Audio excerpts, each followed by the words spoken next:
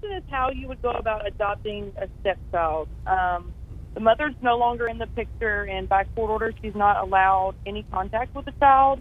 Um, I was just wanting to know what the steps are that we need to take and how much it would cost to do a stepchild um, adoption. Okay. We have uh, a law in our state that the, you have had to have the child in your home for approximately one year.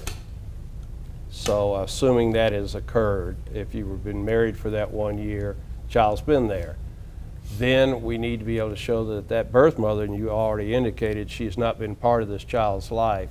Alabama's abandonment is six months. So if you had that kind of timeline where the mother's not supported emotionally and financially, this child, then you can file the petition for adoption. The, uh, the parent, I guess that would be your husband, uh, can file the petition for adoption with your consent. If the child's 14 or older, we need the child to sign also to agree to it. Then you would attempt to serve the birth mother uh, and show, if she fights, then you would want to show that she has not maintained that relationship with the child and not had a good relationship with that child for over the six months.